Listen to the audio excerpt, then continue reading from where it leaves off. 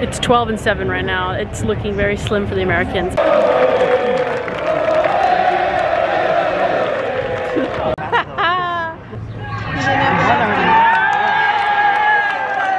we had a chance, you guys.